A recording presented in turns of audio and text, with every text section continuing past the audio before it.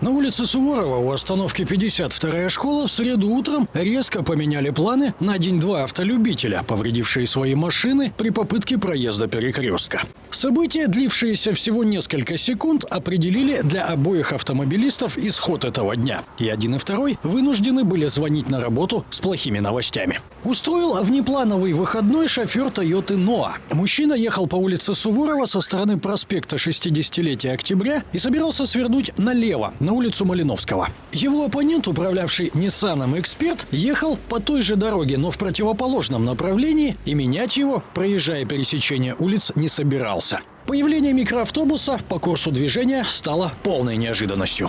Начал перед, мы, перед лицом делать маневры, ну, соответственно, я затормозить не успел, произошло.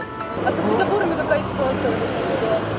Нормально, у меня зеленый, соответственно, так же, как и он, совершал на зеленый цвет.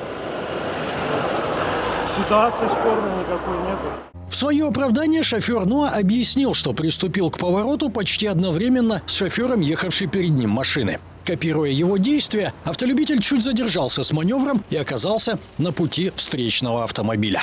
Полновесный боковой удар обернулся не только кузовными повреждениями. У микроавтобуса основательно пострадала ходовая часть. Энергии столкновения хватило, чтобы отломить ось одного заднего колесного диска и разуть другой. С места происшествия Валентин Борозняк, Мария Склярова и Виталий Векслер.